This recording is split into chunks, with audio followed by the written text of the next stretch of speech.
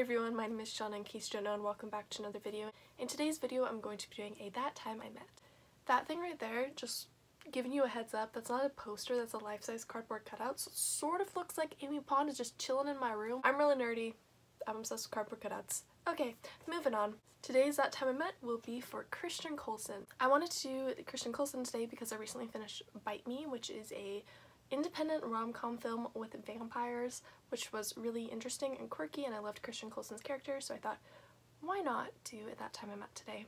Christian Coulson, in case you don't know, is in Bite Me, as I already said, and he's also in Harry Potter and the Chamber of Secrets, and he plays Tom Riddle. So meeting him was really short because I only got a picture with him, because I met him at LeakyCon 2018, and LeakyCon 2018 I was going to photo after photo after photo, I think I only went to like one or two panels, and I was just so overwhelmed because I wasn't feeling well from POTS and I just had so many photos. So I didn't really get to talk to him that long but I thought ahead and I was like I am going to ask him to cross our arms like this and go back to back, do something unique, you know?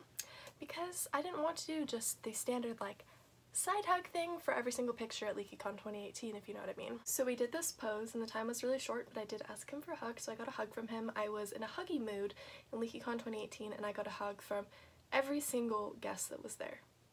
Besides StarKid, because I didn't meet StarKid.